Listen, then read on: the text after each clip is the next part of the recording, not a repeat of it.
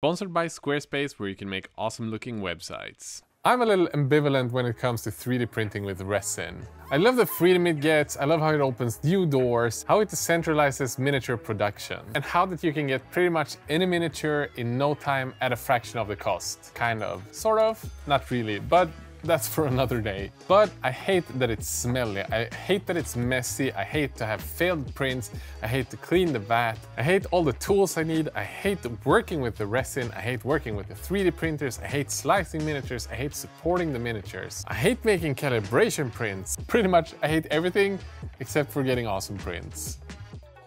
But lately I've been on a roll and recently you saw me print the Great Gargant. And that's just one of the things because I've kind of gone ballistic. I sort of created like an entire fantasy world. We made like nine figures and I've been printing those and having a lot of fun actually printing these minis. I'm gonna tell you more about those some other day because that's in the future, but I'm really excited about it and I just thought that I would share with you the things that made me enjoy printing more now than I have done ever before. And stick around to the end, because at the end of this video, I have a seventh one that made my prints a lot better. So you really want to stick around and watch that. But now, let's go. Number one, cleaning the vat. You are inevitably gonna get failed prints and when you get that, you're going to mess up the next print and the print after that because you're gonna have small particles inside of the vat and stuff just left over at the bottom of the vat. And I hate emptying the vat and like filtering it through these like filters to get all of the stuff out, cleaning the FEP using IPA and then scratching the FEP while I'm cleaning it with IPA and tissues. But then Uncle Jessy made a video that kind of flipped my world upside down. Pretty much all of the newer printers have this clean the vat function. It pretty much means that they turn on the screen full on and create sort of like a film at the bottom of the FEP, which means that pretty much all of the particles that are left in the vat have sunk into the bottom, and when you turn the screen on, it becomes an entire film that goes across the whole thing. And that film you can super easily remove. And to make things easier, if you have old leftover supports or something like that, you can just put it at the bottom of the vat. And with that, when the resin have cured from this cleaning program, you can easily remove it with this handle thing. That's actually just old sprue bits that you threw away. Number two. Okay, this point is kind of sponsored, but I guess not at the same time. Here's the thing, when you have a YouTube channel that do miniatures, a lot of 3D printing brands are going to send you printers. And throughout the last two and a half years, I've had 10 printers from six different brands. And these are printers that I can borrow and try out for videos or use as long as I want. And there's one brand of those that just have stuck out for me, and that is Phrozen. For me, all of their printers have just worked. Since I got the first one, the Phrozen Mini, about one and a half year ago, it's pretty much the only printers that I've been using in videos. And the reason why I'm biased is obviously because I get to use these for free. And since the Mini, I have their 4K Mini, I also have the Mega 4K and then the Mighty 8K. And hopefully soon, we're gonna get to try out the 8K Mini, the small printer with super high resolution. I'm super excited about that. With these, I've probably done over 100 prints and I've barely had any fails. When I've had fails, it's because I've used brand new resins that I hadn't really set up properly. But other than that, it, eh, they've been just amazing, to be honest. So that has made my life a lot more fun because I just know that whenever I start a print, it's just gonna come out looking amazing. Another fun fact with Phrozen is that they're one of the few brands that don't really ask us to include them in videos. They send them and if we wanna use them, we can use them, which I think speaks a lot for their belief in their product, pretty much like asking for nothing nothing in return. So all of this I'm doing out of my own free will. Let's move on. Number three, finding resin that works. This is similar to the 3D printer one that once you find resins that just work for you, you're going to have a lot more fun. When I started out, I had the Anycubic Eco resin. I did not enjoy that. I then bought some 3D Prima resin, some ABS-like style resin, and I did not like that. I got failed prints. It was way too brittle. But then I was sent a Peopoly printer about a year and a half ago, and I was not a huge fan of the printer, but the resin they sent with me was a Peopoly resin. It was called Deft. And with that resin, I have just been having so much fun. It just sticks to the build plate. I have no problems with the supports falling off and stuff like that. And those are the main two things that usually makes my prints fail whenever they do. I've also been trying out the Phrozen 4K resin, which have been really good as well. And recently I started working with the M70 resin, which everyone raves to be like the best, most detailed resin and I just can't make it work. So this day I've been doing like seven test prints to make it work and it's not working. So I'm kind of giving up on life right now. So that really shows you how big of a difference it is when you find resins that just works and how much more fun it is compared to when you can't make it work. And resin does have a big part of that, just the same way that the printer had. On top of that, these three resins that I just mentioned, they barely smell compared to say the 3D Prima or the Anycubic resin. So that's a big upside for me.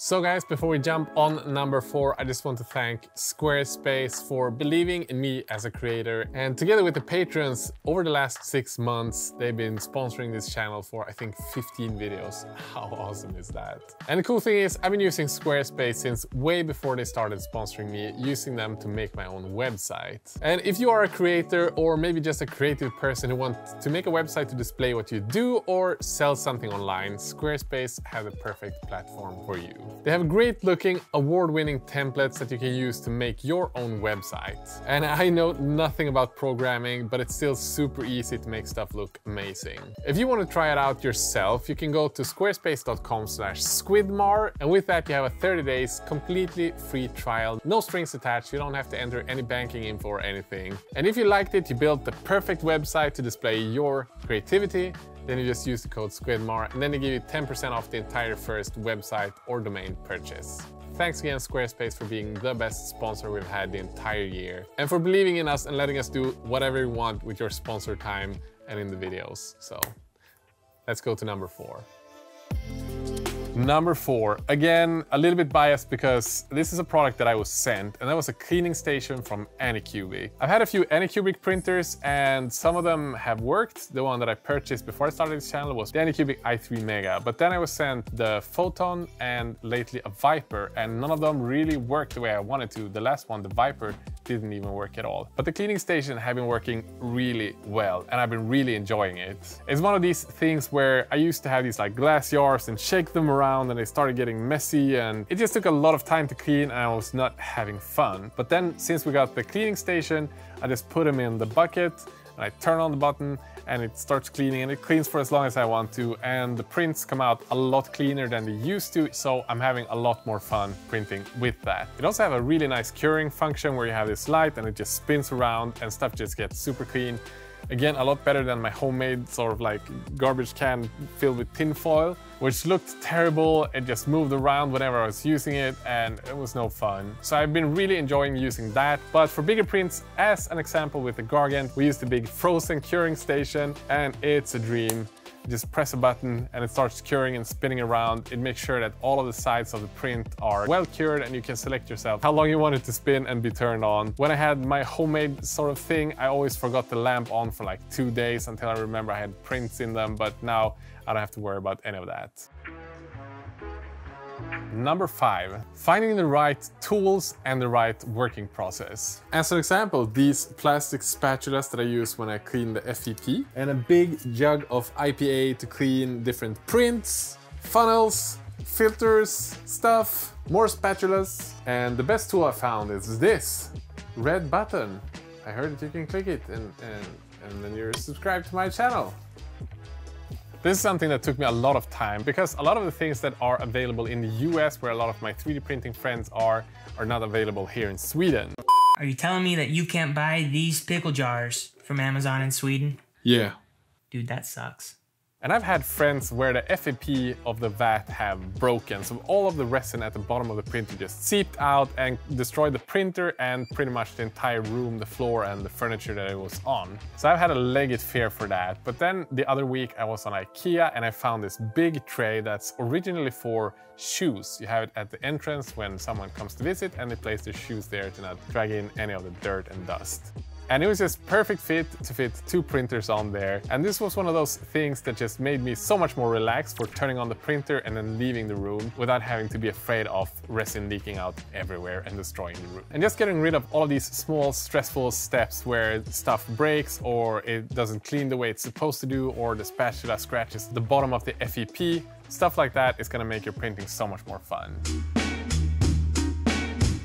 And number six, this is kind of the last one. We have the bonus one later, but pre-supported minis. Look, I'm gonna put this out there. Supporting miniatures is horrible. It sucks. And when I started printing with resin about two years ago, most of the brands that made 3D printable figures hadn't supported them, so you had to make your own supports. But all of the patrons that are available now that make high-end figures have pre-supported miniatures supported by professional services, which means that you can just slap the miniature into the slicing software and just put the printer on and it's gonna look amazing, especially if you calibrated it with these calibrating tools, which are actually a lot easier than you think it is. And that just made printing a lot more fun for me.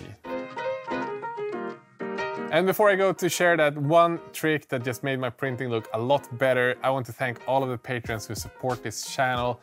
I love you guys. Without you, I would not be able to do this full time. Special thanks to all of the top patrons. And if you want to help this channel out, you can go check out the Patreon in the video description and you get to join me and about 700 other people on a Discord chat. You can also find all of the tools that I recommend down in the video description. But now, the final one. Lower lift speeds on the printer. Again, look when I get started, I was just so excited about getting prints out. So when I found the figure I wanted to have, I wanted it done in three hours. But I also got a lot of fails because of it. So while before I used to have 75 millimeters per second, I now have dropped it down to about 40, 45 for the initial layers and then up to about 50, 55 after that. On the bigger printers, of course, it's slower than on the smaller ones, but this made a huge difference. Because the force that pulls up from the FEP film is very strong, the slower speed is, the less tension you have. And goddamn, there's a lot less printing fails. So that's my go-to trick whenever someone says they have failed prints, just lower the lift speed. Also my dudes, a major thanks to Greg from 3D Printing Pro and Danny from 3D Printing Tabletop that always picks up the phone whenever I have an issue with the printer. Lately it's been a lot less, but thanks anyway. Have a great day. Bye bye.